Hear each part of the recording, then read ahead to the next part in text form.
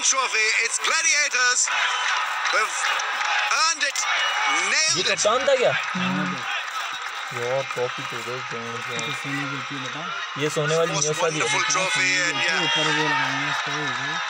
an extremely proud moment for the Gladiators. हाँ,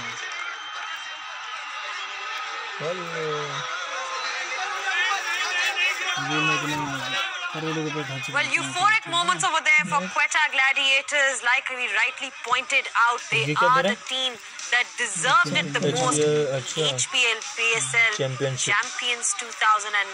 And, you know, talking about the way they've performed, the way they've gelled together as a team, They've got the likes of Viv Richards as their mentor. You know, they truly, truly deserve it. And uh, it's going to be a long night for them, Ahmed Well, इसमें है क्या वो कोयटा में you know, they deserved it, like you uh, pointed out. Uh, they played uh, great brand of cricket, very consistent. बोला हम Uh, ये and uh, e- each and every individual was very Hyderabad का responsible throughout the tournament.